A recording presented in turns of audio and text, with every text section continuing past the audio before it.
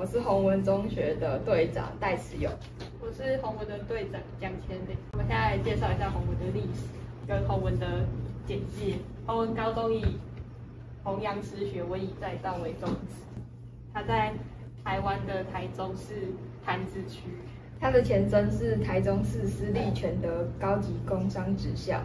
在民国八十四年的时候，改校名为台中市私立洪文高级中学。我在民国八十五年的七月的时候，建立活动部，正式迈入完全中学。我们这个单元是洪文探究实验室。今天的第一集呢，我们邀请到陈义壮。大家好，我是数学博士黄陈义。好，我们接下来有几个问题要问你。第一个问题是，第一次听到这个活动的时候，你有什么想法？我觉得它可以为我的人生带来很多的创造性，还有惊奇。那你觉得你人生成功了吗？还没，目前还在开发当中。来，第二个问题是在这个活动中，你最大的收获是什么？周记的部分，因为它可以训练我的语言、尝试，还有编造事情的能力。好，第三个问题是，你遇到了哪些有趣的事情在这个过程当中？做实验的过程，我碰到了气球摩擦我的头发，让我让我产生新的能量。那你获得这个能量之后，你有什么感想？我的人生因此变得比较顺利一点。好，来第四个问题，那这个学习方式跟你平常在上探究实作有什么差别？它可以使用手机，呃，查询一些平常没办法接触到的知识。好，在第五个问题，在参加这个活动后，你对物理有没有什么不一样的看法？我体会到了，物理虽然不是一切，但一切都是物理这个道理。在最后，请帮我们讲几句简短的心得。我很高兴的来到这个单元来参加这个节目，我收获非常多，也感谢呃各位邀请我来参加。好，谢谢你。可以表演一下那个吗？逗比逗比再表演一次。逗比逗比逗比。欢迎来到洪文探究实验室，是我们的第换了一个队长，我是江千明，这个是我们的红文 YT 第一把交椅 YGCW。大家好。好，谢谢。第一次听到这个活动，你有什么想法？我觉得这个活动可以发挥出我的才能，我觉得我剪片的技术其实还算是可以的，所以在这个时间中，我们会做到影片，那影片就是需要剪辑，在剪辑方面有可能会需要用到一些技术嘛。像是什么剪花絮的技术，就是剪一些搞笑片段的技术，可能可以发挥出我的才能，可以挖掘出一些，而且还可以再更精进一些。那你觉得在这次活动中，你收获到最大的收获？我收获最大的可能是我在做实验的时候，比较能够有条不紊的去执行每一个步骤吧。因为之前做实验可能都是比较慌忙，在剪片的方面也更能够有效率的去进行后置的工作。那在这这次活动中，有遇到哪些有趣的事情？我觉得最有趣的事就是我们拿那个气球，然后去摩擦刚刚上一集有出现的那个 John 的那个头发，我我们用气球帮他做头皮按摩了，把这个他好笑的片段全部都剪在我们的花絮上面。那你觉得这个学习方式跟你平常上课有什么差？可以让让我们学习物理不是这么的古板，因为以前都是在教室上。学习物理嘛，老师都在黑板上面写什么 F 等于 ma，U 等于 F 乘以 s，那个非常的抽象的东西嘛。那我们经过了物理也是活动之后，让我了解到物理其实是可以出现在我们的生活当中。在参加这个活动后，对物理有什么不一样的看法？经过这次的活动，让我觉得物理好像也不是这么难的一个科目，好像在生活上面有很多的应用都可以运用到物理，很多尝试都在生活中可以体现出来。不是教科书上面的那么死板的文字而已。那接下来请你分享一下几句心得。我觉得中山大学办的这个活动非常的有意义，就可以让我们自己做实验，去解释说这个实验是什么。经过了演示之后呢，并且讲解之后，让我们对物理知识能够有更深一层的印象。之后对我们未来可能高二、高三甚至是大学，在物理这方面可能都会有更更容易去理解。好，谢谢你。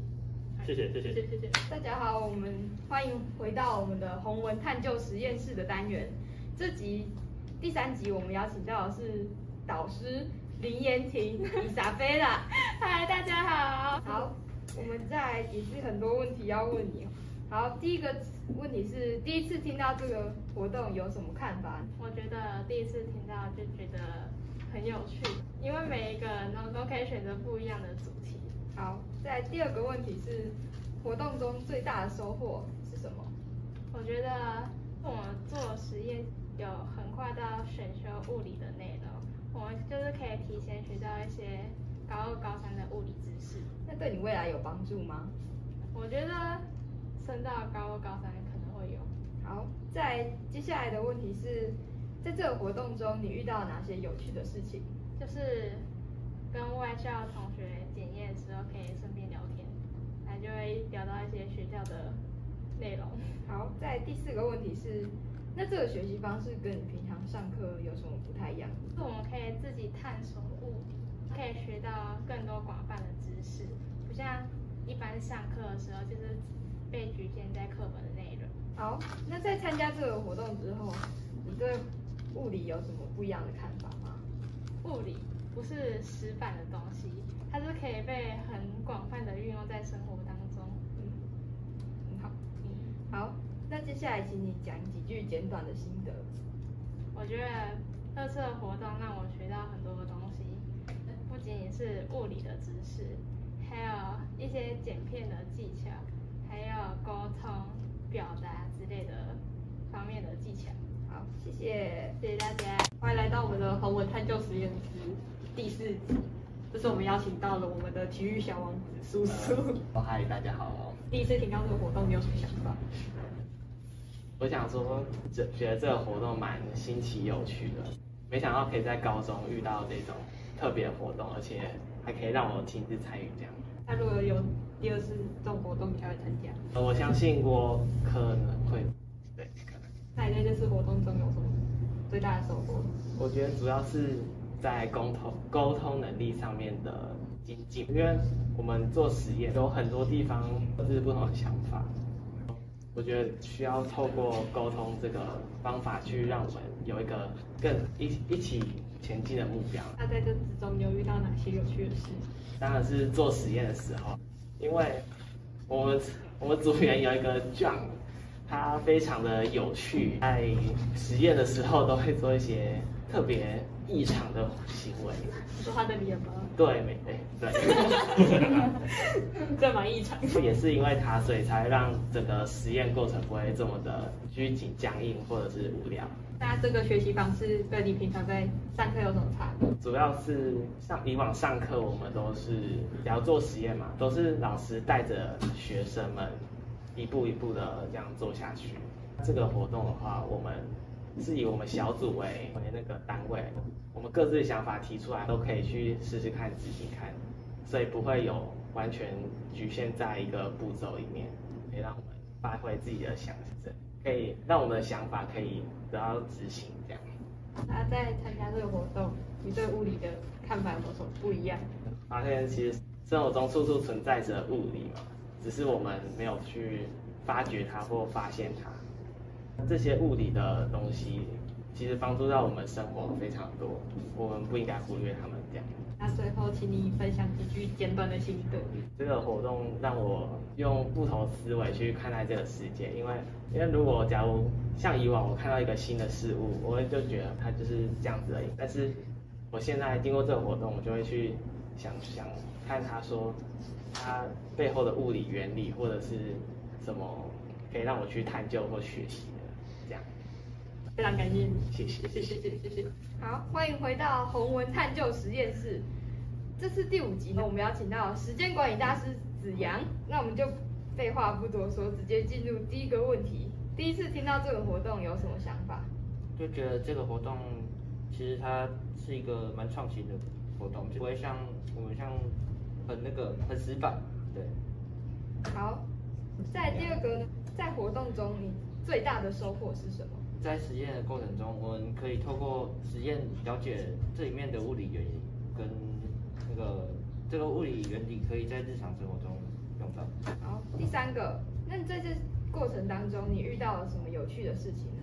在与外校沟通的过程中，我们发现，我发现跟他们沟通的过程中，不只是讨论这个课程上的问题，还可以讨论生活中的各种事情，比如说在学校中发生的事情。好，那再来呢？你觉得这个方式学习方式跟平常上课有什么差别？平常上课是很死板，就是是它只会是局限在某一个主题内，这个主题可以让我们发挥自己的想象力、创意，完成一件事情。再来，参加这个活动之后，你对物理有什么不一样的看法？发现物理不是很死板的，生活中都看得到。最后，请你讲几句简短的心得。这整个过程中，我发现很有趣。好，谢谢。欢迎来到我们探究实验室，这是我们第六集。我们今天邀请到了我们的企鹅思妍。第一个问题，你第一次听到这个活动，你有什么想法？呃，我就觉得很有趣啊，可以参加看看，因为之前都没有做过这种活动。那在这次活动中，你有什么最大的收获？收获就是我学到很多声音，可以透过做实验学到一些课本就都没有教过的。在这个过程中有哪一些有趣的事情？我觉得有趣的事情就是拍影片，你可以你在拍实验的过程中可以拍到很多有趣的画面。那这个学习方式跟你平常上课有什么不一样的地方吗？这个实验就是你要全部都要自己做，啊有问题也是要自己查。啊平常上课就是老师会带着你做，啊这个实验就没有老师会带着，自己找办法。那请问你用什么方法让自己去了解这个实验？问一些以前做过的，去看一些以前做过的影片，不然就是问一些那个教授或学长。在参加这个活动之后，你对物理有什么不一样的看法？我发现物理不是只有物理课本上面可以看到，是那个生活中到处都可以发现物理。那最后，请你发表一下几句简短的心得。这次活动中我学到很多，我觉得比单纯上课本还有用，因为它是让你自己做实验，可以自己学到更多。好，谢谢。好，欢迎回到红文探究实验室。第七集呢，我们邀请到的是云涵。Hello，Hello。第一个问题是，第一次听到这个活动，你有什么想法？我第一个想法就是觉得，啊，这什么东西，感觉很麻烦，因为因为我其实本身是一个没有很喜欢自然的人，所以其实对这种东西其实没有什么太大的感觉。好，第二个问题是在这个活动中，你得到最大的收获是什么？大概是团队合作，因为看我们就是从开始到现在，就是做过了很多事情啊，像是做实验、录影啊、拍片之类的，都需要大家一起的合作才能做得快、做得完，不然的话东西其实真的很多。好，再来呢，你遇到了哪些有趣的事情？做实验的时候，我们很常把那个东西就是都弄错，像是因为我们这组是声音的实验，然后测量音频嘛，然后我们就就不知道那个要怎么调它的大小，然后结果我发现轻轻一划就就调了，然后在那边研究很久。